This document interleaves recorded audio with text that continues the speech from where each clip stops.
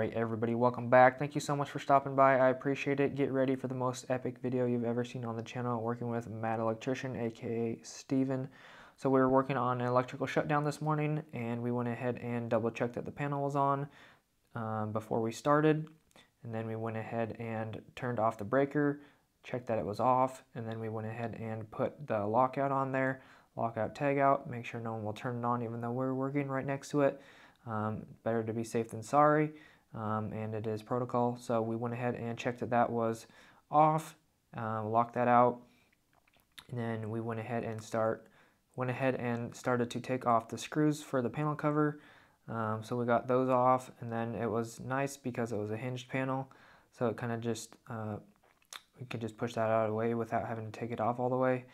And then we went ahead and um, checked that the power was still dead um, on the incoming wires from the transformer from the panel that we just locked out uh, because um, from that big panel on the right side it goes over to a transformer and then it comes back to this smaller panel. So we made sure that the wires were dead and then once we verified that we went ahead and took off the dead front and then from there we went ahead and checked it again um, and there is a method that we use at our company, um, which is the live dead live.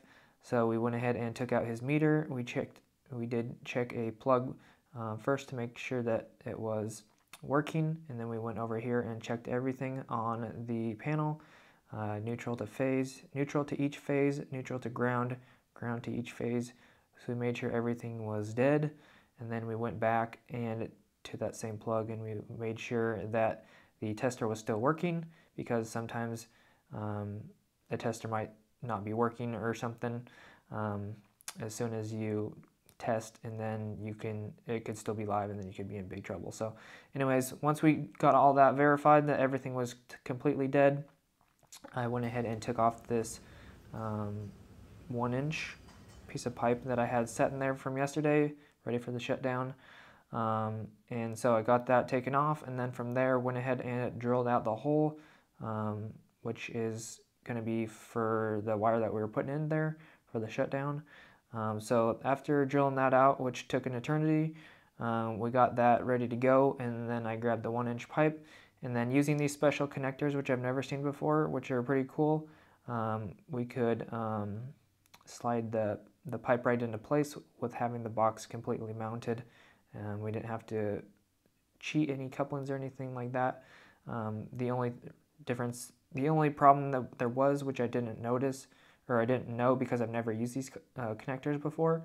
I might have said couplings earlier, but anyways, I've never used these connectors before, so you actually have to account for, there's a little threaded piece that comes into the connector, so I had to cut the pipe a little bit shorter, and then once we got that figured out, uh, we went ahead and screwed the connectors on there. And I'm not sure the specific name on the connectors, um, but it's like a flat connector um, and it screws in from the inside, which is pretty cool. So you can just take your pipe that was ready to go and then go ahead and connect those together and then you're set. Um, I went ahead and um, tightened the little box pipe strap um, and then made sure that the pipe was level and it was pretty close. Uh, and then from there, tightened the connector screws down. And then we were ready for the wire. Um, and we already had that cut from yesterday, which was like 15 feet, which was more than enough for what we were working on. Um, just going straight down the pipe to the bottom of the panel and then coming into this first box right here. So we went ahead and put the wire in. Um, and it was a little tangled, but not too bad. Once we got that done, went ahead and just threw the rest of that wire excess behind the panel temporarily um, just to get it out of the way. Um, Stephen went ahead and started grounding the um, new ground coming into the panel. He went ahead and started stripping that, grounding that, tightening that down, and then I came back here in a second and went up and started to ground the box. So I just put in the ground pigtail and then um, cut off the part that goes onto the device and then wire nutted that or strip that and then um, cut the ground that I that we just pulled in, stripped that and then matched them up. um, and got that wire nutted as you can see right there. And then Stephen was working on routing the other wires, the three neutrals and the three hots to the left side of the panel where we were going to be, well, where he was going to be terminating them. And then I went ahead and was cutting off the excess wire and uh, throwing that on the ground over there uh, very slowly. And then from there, I just went ahead and put wire nuts on each of the other six wires in the box. The three hots, the black, red, and blue, and then the three whites, the normal, actually I think they were all, um, had a stripe on them. So there was a white blue, a white with a blue stripe, a white with a red stripe, and a white with a black stripe, um, indicating that those all went to their certain colors, um, which is nice when you have um, color matching neutrals with the stripe. So I went ahead and wire nutted all six of those as we were going to be turning the power back on and we wanted that to be safe in the box. Um, and then Stephen was um, getting those wires routed down through some zip ties and then cutting and stripping those ready to land on the breakers. I think he cut and stripped them all and then landed them all at the same time instead of doing one individually. So that is up to him. I'm, I'm not saying like that's a right or wrong way, but I'm just saying that's the way that he did it. Um, so yeah, it makes it faster in the end. Um, so he went ahead and got those cut and stripped and ready to go. I went ahead and pushed back the feeders that we moved out of the way to drill the hole. Um, and we did put some cardboard in there before to make sure there was no metal shavings or anything like that. Um, and then at this point, I'm not sure what I'm doing. Um, I think I was just cutting some zip ties. Actually, no, I was putting on the, the little wire label numbers.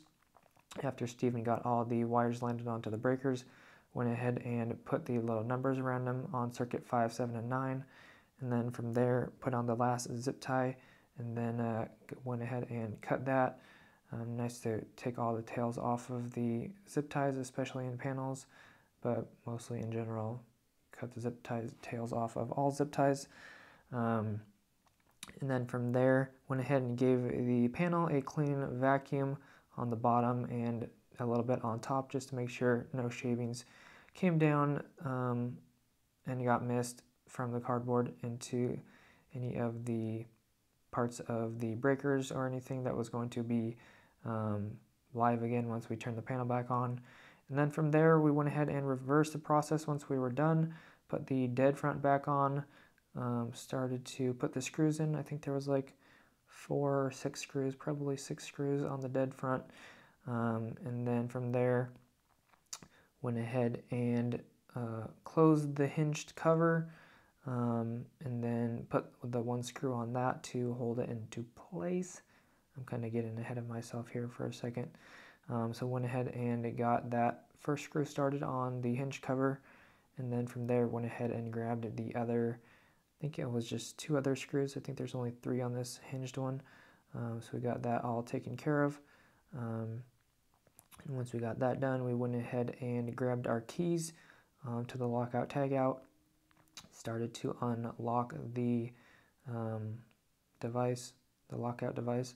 So he grabbed his key, I grabbed my key, we took off the locks, flipped the power, nothing blew up, everything worked just fine, everything went smooth, and then once we turned the power back on, we checked it again with the uh, stick, and then everything was back live.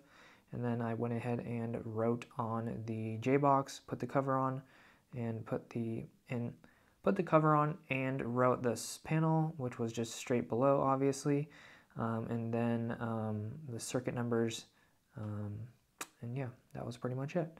Um, and I don't think there was anything else. Um, so that's what we did today, this morning, uh, before work, or right when work started. Um, and then for the rest of the day, I went ahead and worked on the rest of my piping. So the shutdown only took about 30 to 40 minutes, and then the rest of the day I worked by myself upstairs right here in the same spot. Um, so I finished, um, almost finished, but I, as you remember yesterday at the end of the day, I just had the 90 started and then I went ahead and ran all this pipe um, down here to the where it's offsetted right here and the the top pipe of the bottom three is mine.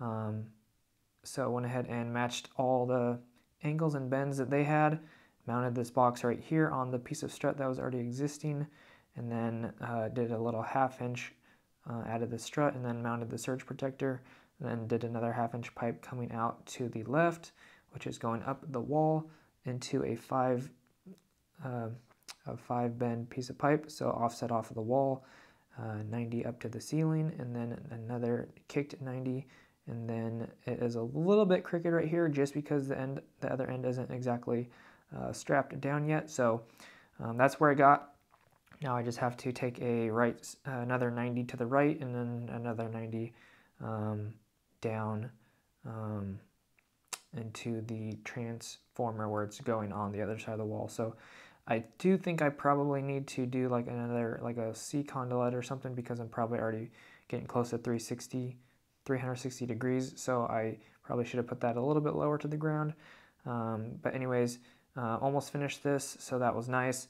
So hopefully you guys enjoyed this video working with Stephen, doing a little voiceover for you guys of the work that we did today.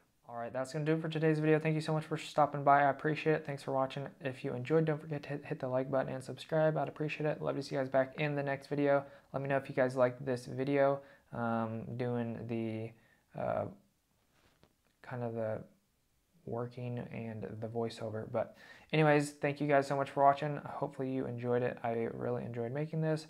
And uh, yeah, see you guys in the next one. God bless. Have an awesome rest of your day. Peace.